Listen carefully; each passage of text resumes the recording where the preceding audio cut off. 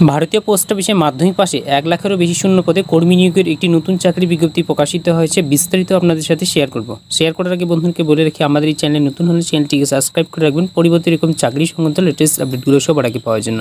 Video ভালো, ভিডিওটিতে অতি অবশ্যই একটি লাইক করবেন এবং আপনাদের বন্ধুদের সাথে বা অন্যদেরকে দেখার জন্য বা দাদাকে ইনফরমেশন দেওয়ার জন্য ভিডিওটিকে বেশি বেশি করে শেয়ার করবেন। আমাদের হোয়াটসঅ্যাপ গ্রুপের লিঙ্ক ভিডিও ডেসক্রিপশন বক্সে দিয়ে রেখেছি, সেখান থেকে ক্লিক করে জয়েন হয়ে যাবেন।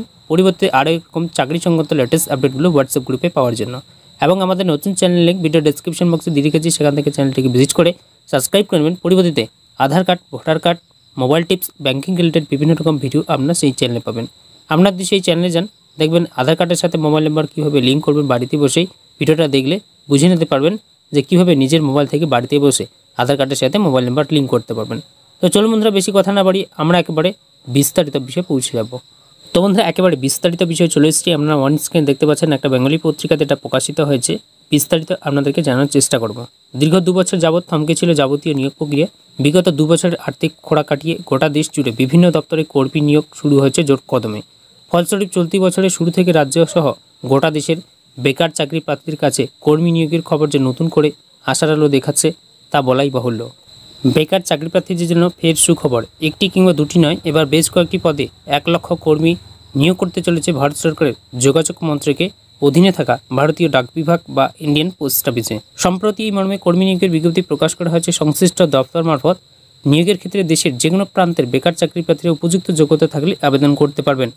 তো এখানে পশ্চিমবঙ্গের তেইশটি জেলা থেকে যে কোনো চাকরি প্রার্থীরা আবেদন করতে পারবেন যদি আপনাদের উপযুক্ত যোগ্যতা থেকে থাকে। চূড়ান্ত প্রার্থী তালিকার স্থান পাওয়া সফল এবং যোগ্য প্রার্থীদের চাকরি করতে হবে যোগাযোগ মন্ত্রকের অধীনে ভারতীয় ডাক বিভাগে। এক্ষেত্রে মাসিক বেতন যথেষ্ট পরিমাণ, তাই অযথা সময় বিলম্ব না করে তড়িঘড়ি আবেদন করেছে আবেদন পদ্ধতি সংক্রান্ত বিষয় এখানে রয়েছে, সংশ্লিষ্ট চাকরি ক্ষেত্রে আবেদন করে প্রার্থীকে শুধু অনলাইনে আবেদন করতে হবে। তো এখানে অনলাইনের মাধ্যমে আপনাদেরকে আবেদন করতে হবে। একজন আবেদন করে শুধুমাত্র একটি পদের জন্যই আবেদন করতে পারবেন।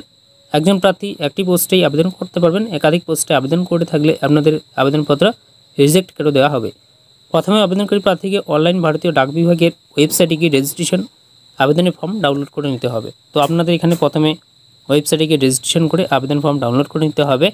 তারপর ওই আবেদন ফর্মের নির্দিষ্ট কলামগুলিতে প্রার্থী নিজের সম্পর্কে যাবতীয় তথ্য আপলোড করতে হবে। আবেদন ফর্মে প্রার্থীর নাম, স্থায়ী বাসস্থানের ঠিকানা, বয়স, শিক্ষাগত যোগ্যতা, প্রাসঙ্গিক কাজের অভিজ্ঞতা সহ নিজের ইমেল আইডি এবং ফোন নাম্বার উল্লেখ করতে হবে। আবেদন ফর্মের সাম্প্রতিক সময়ের একটি রঙিন পাসপোর্ট সাইজের ছবি আপলোড করে দিতে হবে।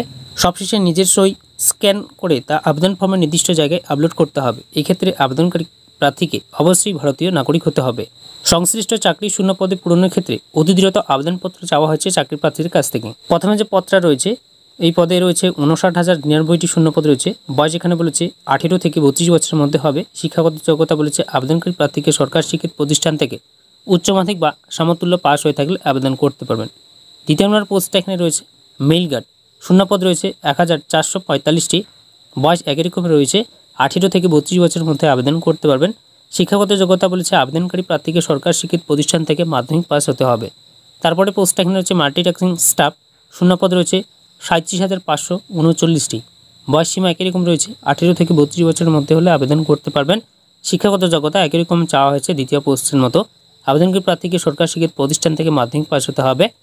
উল্লিখিত পদগুলি আবেদনের জন্য শেষ তারিখ এখানে বলেছে তিরিশে নভেম্বর দু হাজার বাইশ পর্যন্ত আপনারা এখানে আবেদন করতে পারবেন।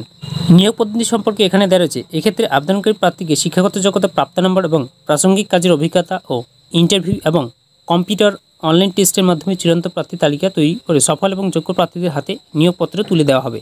তো বন্ধুরা ইন্ডিয়ান পোস্ট অফিসের তরফ থেকে এখনও কোনো অফিসিয়ালিভাবে নোটিশ প্রকাশিত হয়নি। নোটিশ প্রকাশিত হলে আবার আপনাদেরকে ইনফর্ম করার চেষ্টা করব। আমরা আমাদের চ্যানেলের সাথে যুক্ত থাকবেন চ্যানেলটিকে সাবস্ক্রাইব করে রাখবেন, তাহলে পরিবর্তে সবার প্রথমে আপনারা সেই ভিডিওটা পেয়ে যাবেন। আশা করছি আপনার ভিডিওটা বুঝতে পেরেছেন। যদি কারও কোনো রকম বুঝতে অসুবিধা হয়, ভিডিওর কমেন্ট বক্সে অবশ্যই কমেন্ট করে জানাবেন বা হোয়াটসঅ্যাপ গ্রুপের লিঙ্ক ভিডিও ডেসক্রিপশন বক্সে দিয়ে রেখেছি, সেখান থেকে জয়েন হয়ে আপনারা আমাদেরকে মেসেজ করতে পারেন। ভিডিও ভালো, ভিডিওটিতে অতি অবশ্যই একটি লাইক করবেন এবং আপনাদের বন্ধুদের সাথে বন্ধুদেরকে দেখার জন্য বা তাদেরকে ইনফরমেশন দেওয়ার জন্য ভিডিওটিকে বেশি বেশি করে শেয়ার করবেন। চ্যানেল নতুন হলে চ্যানেলটিকে সাবস্ক্রাইব করবেন পরিবর্তে এরকম চাকরি সংক্রান্ত লেটেস্ট আপডেটগুলো সবার আগে পাওয়ার জন্য। তো চলুন বন্ধুরা, দেখা হবে পরের ভিডিওতে। তাদের ভালো থাকবেন, সুস্থ থাকবেন, আপনাদের পরিবারে খেয়াল রাখবেন।